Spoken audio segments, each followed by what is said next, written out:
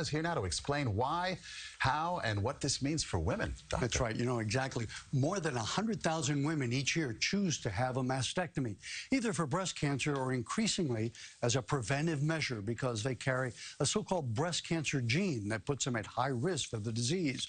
But that surgery leaves big scars. The robot doesn't.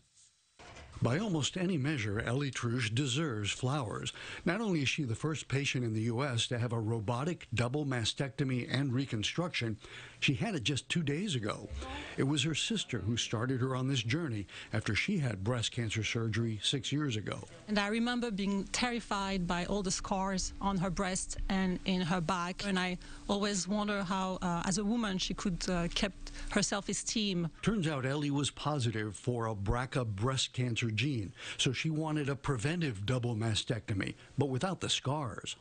I wanted to be able to look at myself in the mirror and not seeing uh, scars, but seeing my breast and myself. To accomplish that, breast surgeons in Italy and France were using the Da Vinci robot to perform much less disfiguring mastectomies. But it had never been done in the U.S. until doctors Neil Tanna and Alan Kadison at LIJ Northwell Health got the FDA to approve a clinical study. What we're trying to achieve is place the incisions far away from the breast, off of the breast, placing them near the armpit or the lateral chest wall.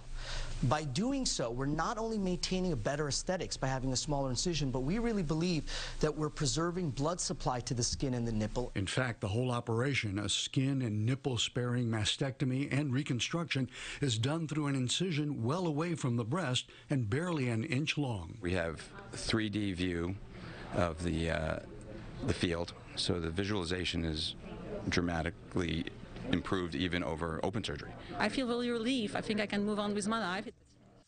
Now, the LIJ Northwell study is accepting women to help demonstrate that the robot is a safe and effective way to perform these mastectomies and reconstruction.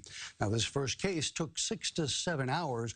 That's a couple of hours longer than a conventional open procedure, but that time will get shorter with experience. So this is pretty exciting because it's a tiny little scar as opposed to big stars left on the breast. Right. But the robot is supervised, right? Oh, yeah, it's not Very doing it so. on your own. The surgeon is robotic assisting surgery. How's that?